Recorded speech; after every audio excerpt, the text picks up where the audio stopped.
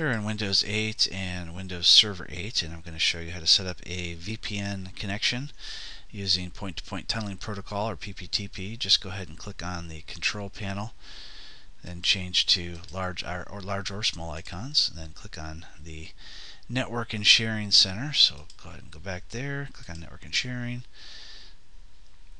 And from here we'll click on set up a new connection or network. We're going to want to choose the connect to a workplace next. Choose our VPN option.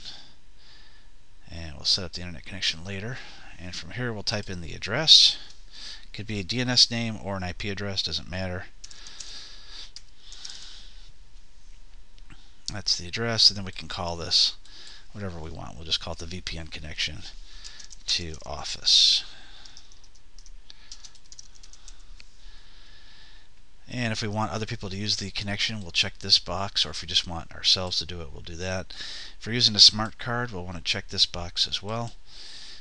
And smart card is issued to people by their offices to connect with a rotating number typically. And from here we'll put in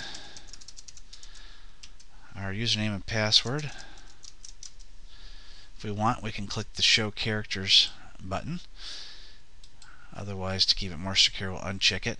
And I recommend you do re remember this password unless it's a laptop where it could be stolen and then people could log in with the cached password. Go ahead and choose create and then close. Now if you want to see that connection, click on change adapter settings and now we see our VPN connection to Office. From here we can create a shortcut to our desktop just by dragging that to the desktop and choosing create shortcut. We can also make changes as well. We can double click on there to make changes. So if we change our password, we'll click uh, that information. Uh, see, we can change our domain that we connect to, our IP address.